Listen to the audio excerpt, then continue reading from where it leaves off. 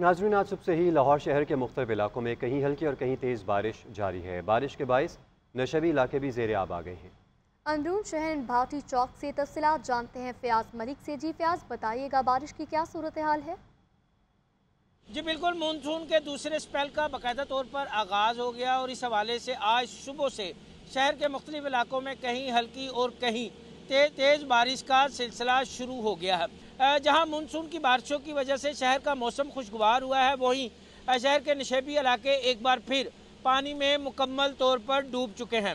मैं इस वक्त मौजूद हूँ बाटी चौक में। यहाँ पर वासा की टीमें मौजूद हैं, लेकिन पानी की निकासी के हवाले से हंगामी बुनियादों पर कोई इकदाम नहीं किए गए। सिर्फ़ एक गाड़ी इस चौक में नज़र आ रही है, और ये शहर का वो इलाका है जहाँ हर साल मानसून की बारिशों के नतीजे में पानी जमा होता है। वासा हुकाम की जानब से निशेबी इलाकों में पानी की निकासी के हवाले से बर वक्त इकदाम किए जाते। लेकिन वासा की नाहली की वजह से अब भी शहर के बेशतर नशेबी इलाके जो है, वो मुकम्मल तौर पर पानी में झुके हैं। जी।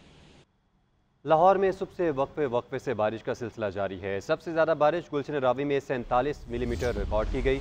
इकबाल टाउन में बत्तीस मिलीमीटर पानी वाला तालाब सत्ताईस मिलीमीटर, खरतबा चौक छब्बीस, लक्ष्मी चौक पच्चीस समनाबाद चौबीस, फरुखाबाद में तेईस, चौक नाखुदा में उन्नीस, जबकि निशो टाउन में बारह मिलीमीटर बारिश रिकॉर्ड की गई।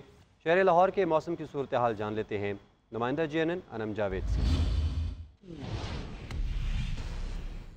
जी बिल्कुल, शहर लाहौर के मौसम की इस वक्त अगर बात करें तो मौसम बड़ा खुशगवार और हसीन हो चुका है। सुबह शहरी के वक्त चलने वाली ठंडी हवाओं की वजह से गर्मी और हफ्स का ज़ोर टूटा। तो देखते ही देखते बादल जो हैं सारे आसमान पे छा गए। शहर के मुख्तलिफ़ इलाकों में इस वक्त मूसलाधार बारिश का सिलसिला फ़िलहाल जो है वो जारी है। चौक चुपुजी यतीम खाना चौक सफजरदार चौक और साथ ही साथ यहाँ पे Iqbal town, Ferozepur road township और दीगर इलाकों में इस वक्त कहीं बहुत मूसलाधार तेज़ बारिश और कहीं दरमियाने दर्जे की बारिश जो है वक्फे वक्फे से जारी है। शहर में हवा तेईस किलोमीटर फ़ी घंटा की रफ्तार से चल रही है, जबकि हवा में नमी तिरासी फ़ीसद तक रिकॉर्ड की जा सकती है।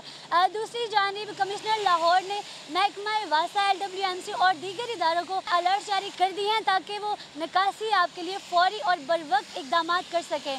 आइंदा चौबीस घंटों की बात करें तो चौबीस घंटों के दौरान शहर भर में मूसलाधार बारिश की पेशीन गोई की गई है। जी। इस्लामाबाद और रावलपिंडी में रात गए से तेज हवाओं के साथ बारिश का सिलसिला जारी है। जुड़वा शहरों में सड़कें और गलियाँ, नदी नालों का मंजर पेश कर रही हैं। सड़कों पर पानी जमा होने के सबब ट्रैफ़िक की रवानी मुतासर है। इस पर मजीद बात करेंगे सबीन शहबाज से। जी सबीन, बताइएगा।